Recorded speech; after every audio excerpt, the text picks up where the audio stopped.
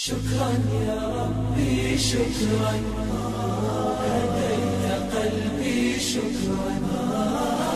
نورت دربي شكرا. شكرا يا رب. أعوذ بالله من الشيطان الرجيم. بسم الله الرحمن الرحيم. الحمد لله رب العالمين الصلاة والسلام والتحية والإكرام على الرسول الأنام خاتم النبيين رحمة للعالمين وعلى آله الطيبين الطاهرين الذين أذهب الله عنهم الرجس وطهرهم تطهيرا. اللهم صل على محمد وآل محمد. ولعنة الدائمة الباقية على أعدائهم ومنكر فضائلهم وغاصب حقوقهم أجمعين من يوم عداوتهم إلى قيام يوم الدين. أما بعد عباد الله أوصيكم ونفسي بتقوى الله فإن التقوى خير الزاد وبحر المعاد. وتنفع يوم لا ينفع فيه مال ولا بنون إلا من أتى الله بقلب سليم. وصلى الله على محمد وعلى آله الطيبين الطاهرين. أما بعد فقد قال الله الحكيم في محكم كتابه الكريم حيث قال بسم الله الرحمن الرحيم. يا أيها الذين آمنوا اتقوا الله حق تقاته ولا تموتن إلا وأنتم مسلمون. صدق الله العلي العظيم. আমার প্রিয় দর্শক ও শ্রোতাবৃন্দ, আসসালামু আলাইকুম ওরহমতুল্লাহ ওবরাকাত ঈদের দিন খুবই নিকটে আমরা এই খুশির দিনের মধ্যে জীবনযাপন করছি, এক মাস রোজা রাখার পরে।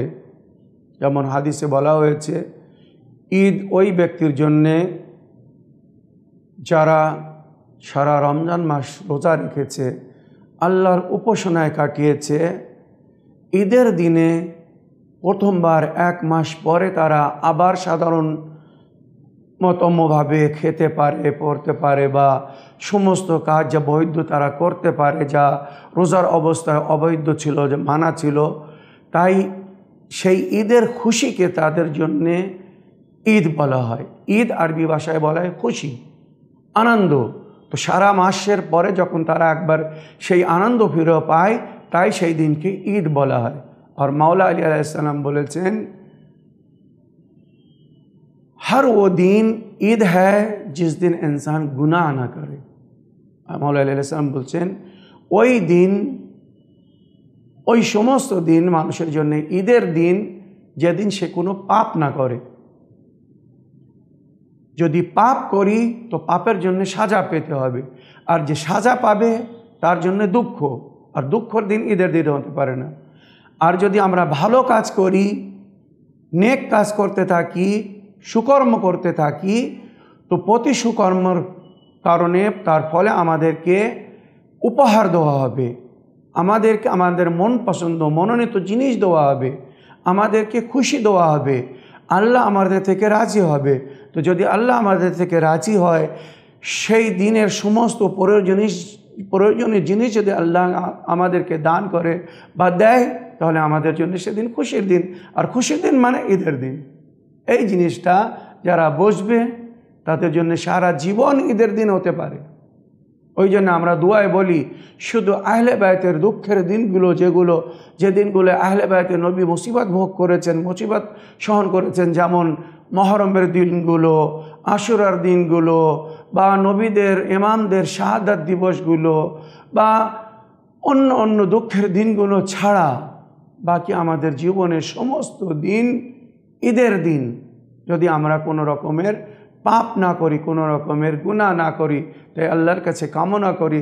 আল্লাহ আহলেবাতের ভালোবাসায় আমাদেরকে সর্বদাই সৎ পথে চলে নেক কাজ করে ওই সুন্দর জীবনযাপন করা তৌফিক দান করো। যেমন আল্লাহ তুমি নিজে চাও এবং তোমার নিকটতম বান্দা নবী করিম সাল্লাহ সাল্লাম এবং ওনার বংশধারীরা আর আহলে বায়তে রসুল আলহিমুসাল্লামরা চান।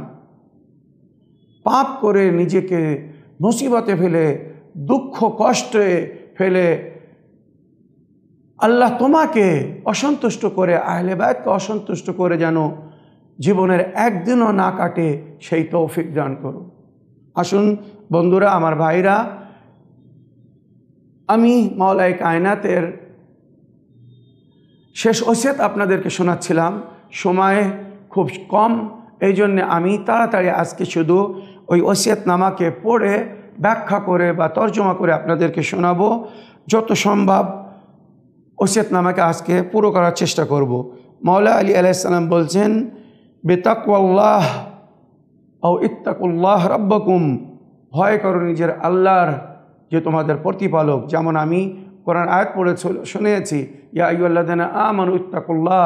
হে বিশ্বাসীগণ, তোমরা আল্লাহর ভয় করো। ওলা তামুতুন্না ইল্লা ওয়া মুসলিমুন। আর তোমরা মৃত্যুবরণ করবে না, কিন্তু মুসলমান হয়ে। মুসলমান মানে আল্লাহ রসুলের হুকুমের আগে, আহলে বায়তের হুকুমের আগে, ওনাদের আদেশের আগে নতশির হয়ে। আল্লাহর বিরুদ্ধে যেন কোনো কাজ করবে না, আল্লাহ রসুলের হুকুমের আদেশের যেন কোনো দিন অমান্য করবে না, বা আহলে বায়তরা যা আমাদের জন্য সৎ উপদেশ দিয়ে গিয়েছেন, যাতে আমাদের মঙ্গল, তার বিরুদ্ধে যেন কেউ কোনো কাজ না করে, তাহলে সে সত্য মুসলমান আর ওই মুসলমানকে আল্লাহ ভালোবাসে এবং ওদের জন্যেই স্বর্গ। ওলা তামতুল্লাহ তুম মুসলিমুন। তোমরা মৃত্যুবরণ করবে না, কিন্তু মুসলমান হয়ে। তারপরে মাওলা আলী আলাইসাল্লাম বলছেন ও আতসম হাবলিল্লাহ জামিয়ান ওয়ালা তাফারকু শুধু মুসলমান হলেই যথেষ্ট না, তোমরা সব এক অপরের সঙ্গে মিলেমিশে থাকবে। এক অপরের সঙ্গে বন্ধুত্ব রাখবে, এক অপরকে নিজের আপন ভাইয়ের মতো মনে করবে, তাদের সঙ্গে মধুর সম্পর্ক রাখবে, অশান্তি সৃষ্টি করবে না নিজেদের মধ্যে। কেননা আগে বলা বলা হয়েছে উস্কুরু নি'মাতাল্লাহ আলাইকুম ইয কুনতুম আদা ফাআল্লাফ বাইনা কুলুবিকুম। সূরা আলে চ- আল্লাহ রাব্বুল আলামিনের ইরশাদ হচ্ছে যে, তোমরা স্মরণে রেখো, তোমরা এক অপরের শত্রু ছিলে, তোমরা এক অপরের ধন দৌলত দেখে এক অপরকে অন্যতম স্থানে দেখে হিংসা করতে, এক অপরের বিরুদ্ধে কাজ করতে, তাই আল্লাহ তোমাদের অন্তরে এক অপরের প্রতি ভালোবাসা প্রদান করার পরে তোমরা নিজেদের মধ্যে এক অপরকে পছন্দ করা শুরু করেছ। সেলাহ জাতবাইন জাতুল বাইনে আফদাল মিন আম্মত সালাত ওয়াসিয়াম মৌলা আলী আলাইসাল্লাম বলছেন যে তোমরা আল্লাহর ভয় করবে, নিজেদের নজমুল উমর মানে সমস্ত কাজগুলোকে সংযুক্তভাবে সময় টাইম অনুসারে কাজ করবে। ও জাত জাতবাইনুকুম নিজেদের সেলাহ জাতবাইনুকুম নিজেদের মধ্যে মিলেমিশে থাকবে। ফাইনি সামেত রসল্লাহ সাল্লাহ ইসলাম এখন আমি শুনেছি নবী সাল্লাহ বলতে, সেলাহ জাত জাতুল বাইন আবদাল মিন আম্মাতি সালাত ওয়াসিয়াম নিজেদের মধ্যে মিলেমিশে জীবনযাপন করা সাধারণ নামাজ রোজা চেয়ে তো স্বভাব বেশি। কেননা, নামাজ যে পড়বে, নামাজের স্বভাব সে পাবে। রোজা যে রাখবে রোজার স্বভাব সে পাবে। কিন্তু নিজেদের মধ্যে আপোষে, মিলেমিশে থাকলে তার লাভ সমস্ত সোসাইটিকে হবে। সমস্ত পাড়াকে, সমস্ত এলাকার লোককে তার লাভ হবে। কেননা সবাই মিলেমিশে থাকলে তাদের সকলের জীবনে শান্তি থাকবে। আমরা যদি ঝগড়া করি আমরা যদি এক অপরের সঙ্গে লড়তে থাকি, তো আমাদের জীবনে অশান্তি থাকবে। আর মিলেমিশে থাকলে আমাদের সকলের জীবনে শান্তি থাকবে। পুরো পরিবেশে একটি শান্তির পরিবেশ থাকবে। তাই বলা হয়েছে যে, তোমরা মিলেমিশে জীবনযাপন করো।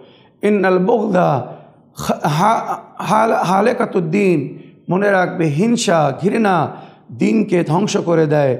ও ফাসাদ দাতুল বাইন ওলা হাউলা কুয়াত ইল্লা বিল্লাহ। এইভাবে নিজেদের মধ্যে অশান্তি সৃষ্টি করা, এই সমস্ত মানুষকে ধ্বংস করে দেয়। আল্লাহর শক্তি ছাড়া কারও শক্তি বেশি না। সুতরাং আল্লাহর শক্তিকে বড় মনে করে নিজেদেরকে এক অপরকে ধৈর্য ধরার জন্যে সেফারিশ করুন এবং নিজেও ধৈর্য ধরে এক অপরের সঙ্গে সুন্দর ব্যবহার রাখুন।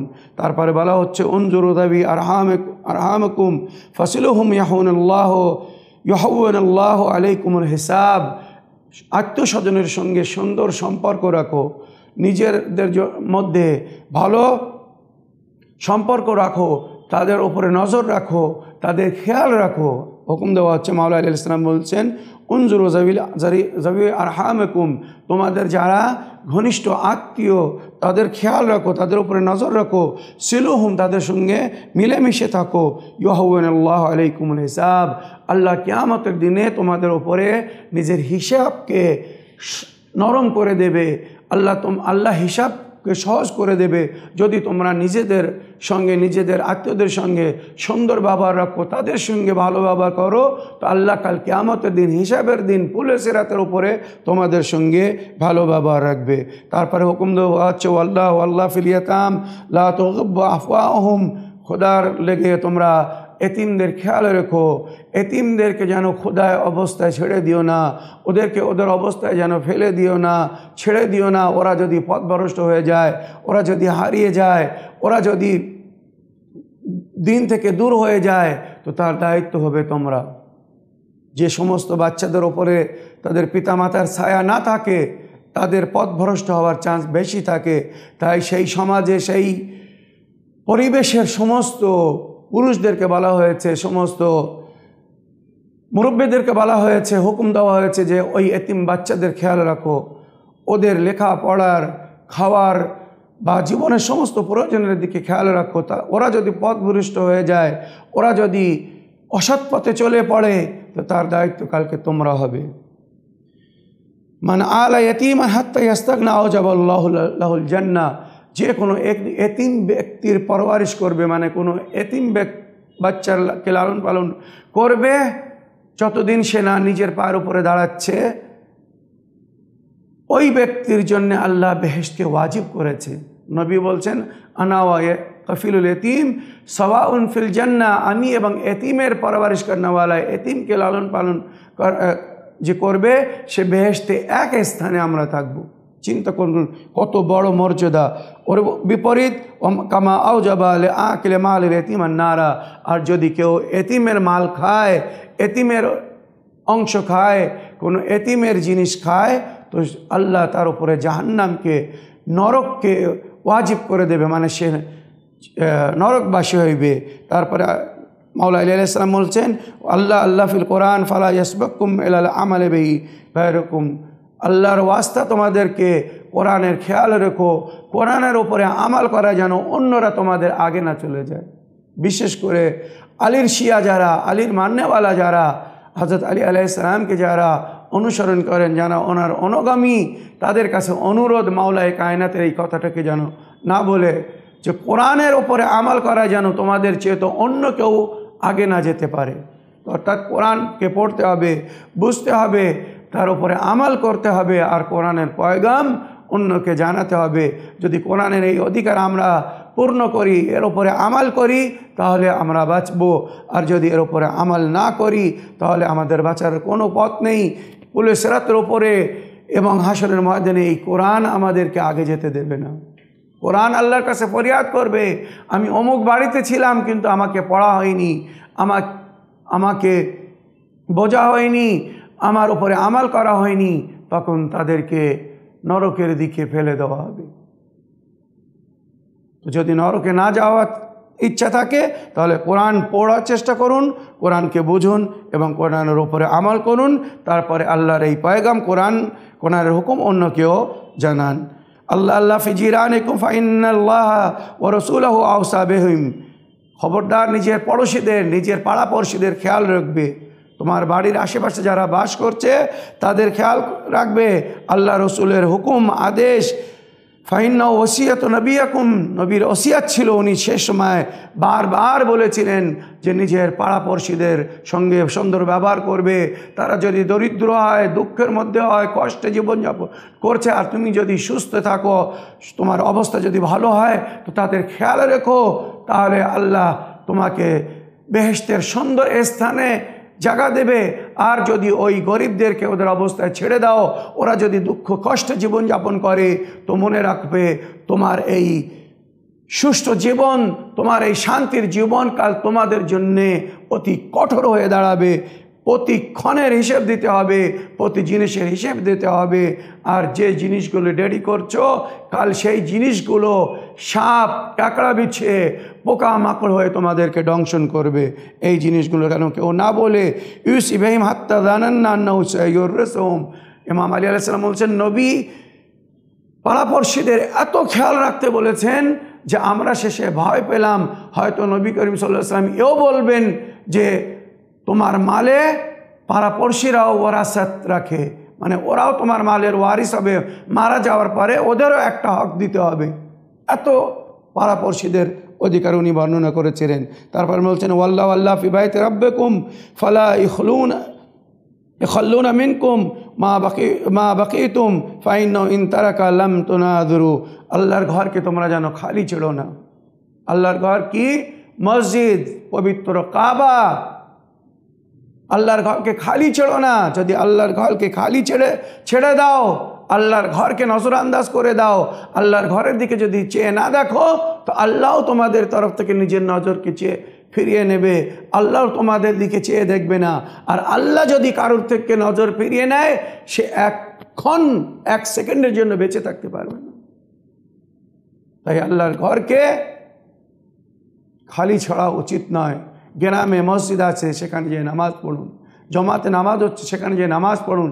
এক সময় জিব্রাইল আমিন মানব হওয়ার, উনি ফেরিস্তা নবীর কাছে এসে বললেন, আমি মানুষ, কাশ, আমি যদি মানুষ হতাম মানব জাতের মধ্যে হতাম। নবী আল্লাহ বললেন আই জিব্রাইল ভাই, তোমার আল্লাহ এত বড় মর্যাদা দান করেছে। তুমি ফেরিস্তাদের সর্দার আর তুমি মানুষ হওয়ার আশা করছ, মানব জাতের মধ্যে হওয়ার আশা করছ।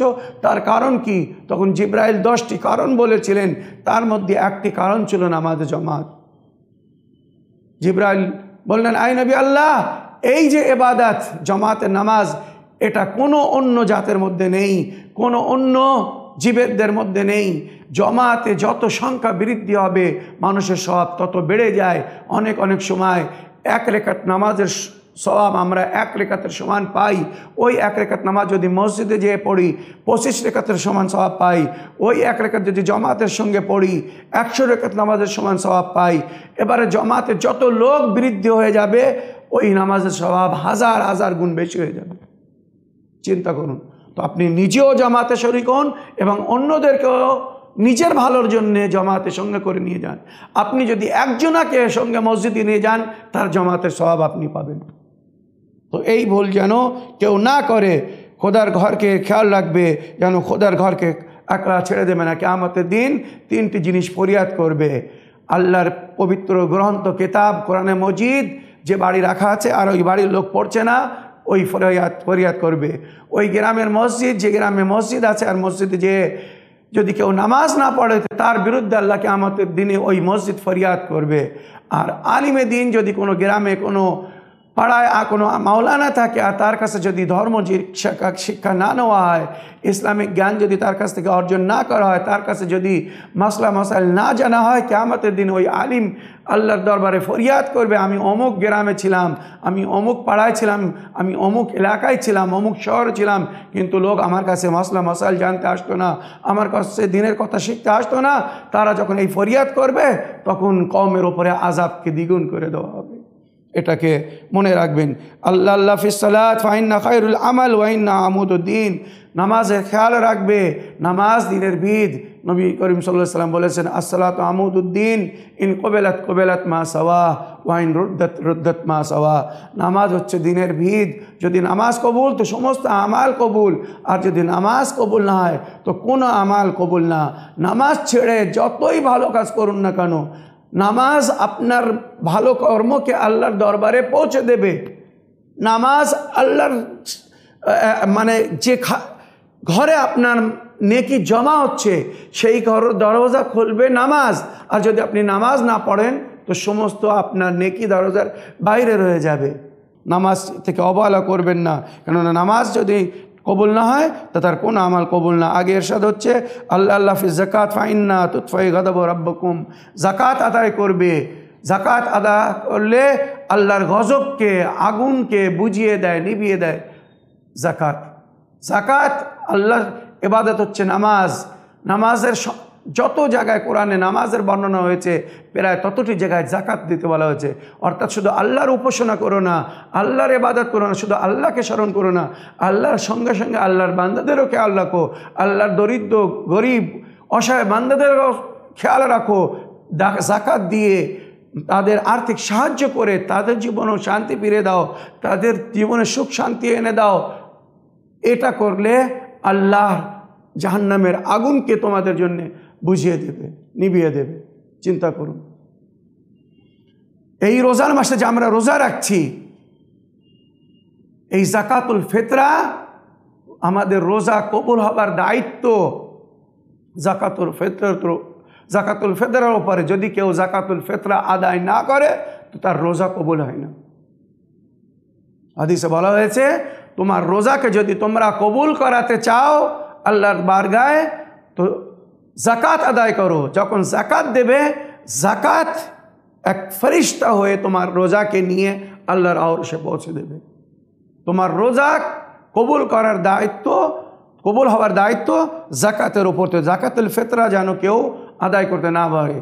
ফেতরা মানে তিন কেজি চাল, আটা, গম, যা সাধারণ খাদ্য গরিব দরিদ্রদেরকে দেওয়া। যাদের জীবনে দুঃখ আছে, কষ্ট আছে, যাদের জীবনে প্রতিদিনের আহার নেই, তাদেরকে এই ঈদের দিনে এই আহার দিয়ে তাদের জীবনে একটু খুশি ফিরিয়ে দিন। এখানে আরও একটা কথা বলি, আমি প্রতি বছর ঈদের খোদবার সময় বলি, ঈদের দিনে আপনি, আপনারা যারা ধনী, যাদেরকে আল্লাহ দান করেছে, যাদেরকে আল্লাহ দিয়েছে অনেক, তারা নিজের বাচ্চাদের জন্য নতুন নতুন পোশাক কেনে, নিজের বউ বাচ্চাদের জন্য, নিজের বাড়ির পরিবারের সমস্ত লোকদের জন্য নতুন নতুন কাপড় কেনে, ঈদের দিনে নতুন কাপড় পরে সবাই আনন্দ পায়। ওই সময় যদি আপনার পাড়াপড়শিতে আপনার বাড়ির পাশে যদি কোনো এতিম থাকে, কোনো বিধবা থাকে মহিলা, কোনো গরিব থাকে, আর তাদের কাছে যদি কাপড় কেনার পয়সা না থাকে, যদি আপনাদের বাচ্চা, আপনার বাচ্চাদেরকে, আপনাদেরকে সুন্দর কাপড়ে দেখে তারা মনে কষ্ট পায়, তো মনে রাখবেন আল্লাহর গজব খুবই কঠিন।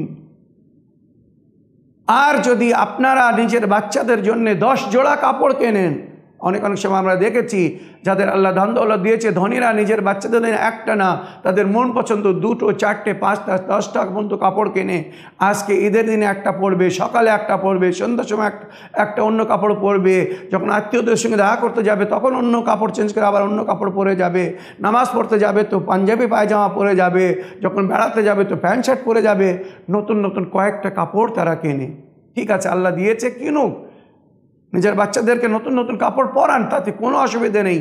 তবে যদি দশটা কাপড়ের মধ্যে একটা কাপড় কোনো এতিম বাচ্চার জন্য কেনেন, কোনো এক জোড়া কাপড় জন্য কোনো বিধবা মহিলার জন্য কেনেন, আর তাদেরকে দিয়ে দেন, তো বাকি আপনার বাচ্চাদের, আপনাদের এই পোশাক জান্নাতের পবিত্র পোশাকে পরিবর্তন হয়ে যাবে। তাই ঈদের দিনে শুধু নিজের খুশির সম্পর্কে চিন্তা করবেন না বাড়ির আশেপাশে যা আছে যারা আছে, একবার তাদের খুশিরও চিন্তা করবেন। তাদের বাড়িতে যদি ভালো খাবার ব্যবস্থা খাবার ব্যবস্থা না হয়, তো আপনি যখন মাংস কিনতে যাচ্ছেন, আপনি যখন ভালো জিনিস কিনতে যাচ্ছেন, তো এক কেজি মাংস কি আপ- হা- হা- আধা কেজি মাংস, হাফ কেজি মাংস ওই গরিব, ওই এতিম, ওই বিধবাদের জন্যে কিনুন। যাদের কাছে পয়সা নেই, মাংস কিনে খুশির দিনে ভালো খাওয়ার খাওয়ানো তাই অনুরোধ করি, ঈদের দিনে নিজের খুশির সঙ্গে অন্যর খুশিকেও মিলিয়ে নিন, আপনার খুশি অনেক বেশি হয়ে যাবে। আল্লাহ সন্তুষ্ট হয়ে আপ, হলে আপনার জীবনে সারা জীবনটাই হয়তো খুশিতে কেটে যাবে। পরবর্তীকালে এত খুশি পাবেন যে আপনি ভাবতে পারবেন না যদি ঈদের ওই খুশির দিনে কোনো অন্যকে খুশি দেন। তো এই জিনিসটা যেন কেউ না বলে, ভালো খাবার, ভালো পড়ার ইচ্ছা সবার মনে থাকে। কেউ কাউকে জোটে কাউকে জোটে না। তো যাদেরকে জুটেছে তাদের কাছে অনুরোধ, তারা চেষ্টা করুক যতটা পারে অন্যদেরকে খুশি দেওয়ার। নিজের জন্য বেঁচে থাকাই জীবন নয়। মাওলা বলছেন, পশুর মধ্যে আর মানুষের মধ্যে পার্থক্য কী? মাওলাকে যখন জিজ্ঞাসা করো, মাওলা, পশুর মধ্যে আর মানুষের মধ্যে পার্থক্য কী? মাওলা বলেছিলেন পশুরা নিজের জন্য বেঁচে থাকে, সবসময় নিজের সম্পর্কে চিন্তা করে।